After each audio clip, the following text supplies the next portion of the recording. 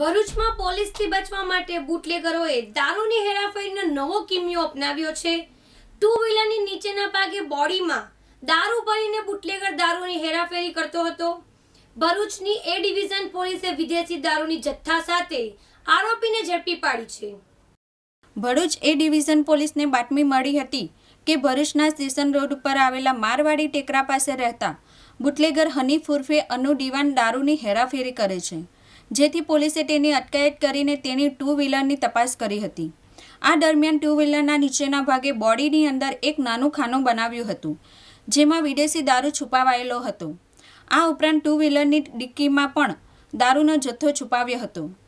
Police આ દારૂ જોઈને ચોંકી ઉઠી હતી અને એક પછી એક અંદરથી બસો પચાસ દારૂના પાઉચ બહાર કાઢ્યા હતા.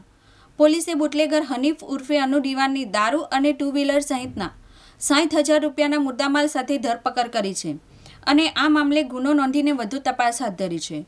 કેમેરામેન મયુર ટેલર સાથે સોનલ તોપીવાલા દિવ્યાંગની સુરત.